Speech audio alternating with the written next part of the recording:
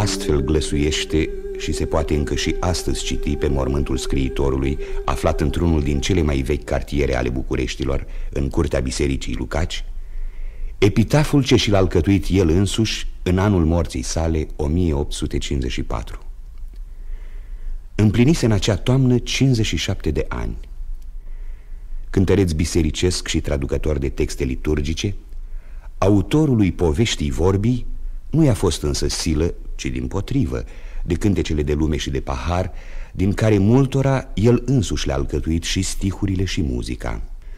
Însoțindu-le potrivit de vizii sale de la lume adunate și la lume iarăși date cu altele, tot el le-a adunat în cele cinci volume sugestiv intitulate Spitalul Amorului sau Cântătorul Dorului, adevărat muzeu al unuia din aspectele vieții cotidiene ale secolului trecut.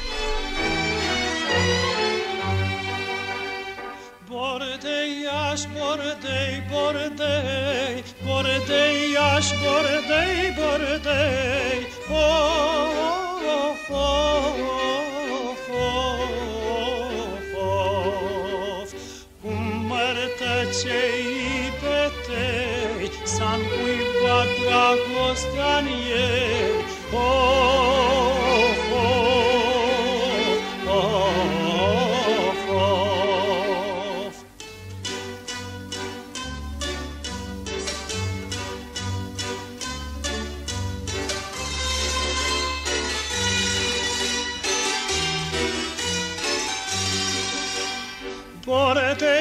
Bordeiaș fără gârlici, Bordeiaș fără gârlici, Of, of, of, of.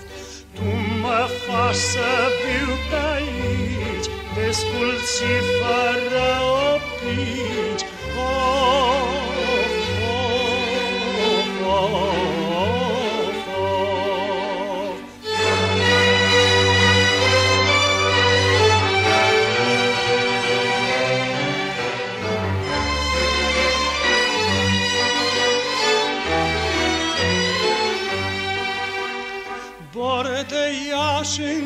întunecos, core de Iași întunecos, of, of, of, of.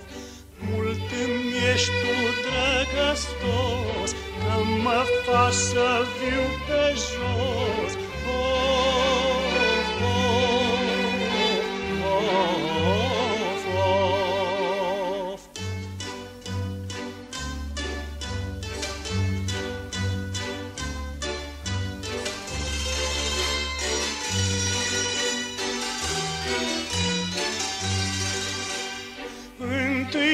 aici când veneam, întâi pe aici când veneam, of, of, of, of. Patru junți eu înjucam și acum niciunul n-am,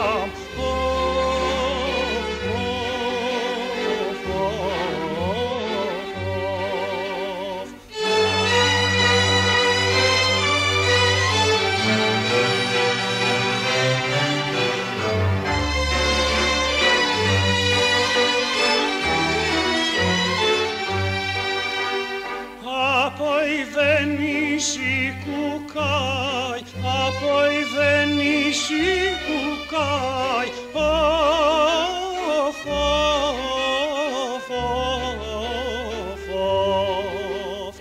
Dacă beui și mâncai, nu mancă masă plecai. Of, of, of, of. Dacă beui și mâncai, nu mancă masă plecai. Of, of, of, of,